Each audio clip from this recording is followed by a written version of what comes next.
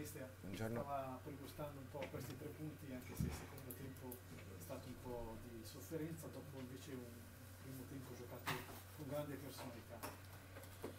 Sì, abbiamo sofferto il secondo tempo una stanchezza fisica, magari ci siamo abbassati un po' troppo sapendo che loro facevano quel tipo di gioco di cercare la punta alta e magari ci ha, ci è mancato un po' di esperienza per, per, per, bloccare un po' queste palle che partivano dall'esterno.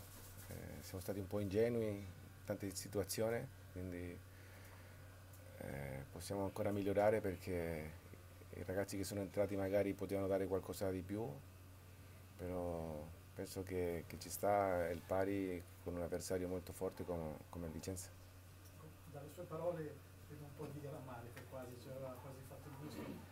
Sui cambi, mister, quando ho tolto più per esempio, abbiamo perso, la squadra ha perso un po' di profondità e un po' di fisicità, è d'accordo o no?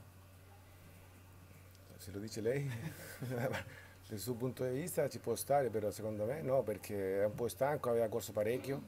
Poi Castelli è un giocatore che a noi sempre ci dà una mano nel secondo tempo, un giocatore che, che fa gol, che fa reparto, è veloce come lui, eh, deve migliorare anche lui in certe situazioni del gioco, però, però ripeto, potevamo fare molto meglio la gestione della palla, secondo me la stanchezza ci ha giocato un brutto scherzo perché perché poi non riuscivamo a palleggiare come volevamo, poi anche se loro hanno alzato un po' la linea difensiva, però ci stava che con due o tre passaggi di fila potevamo arrivare in porta.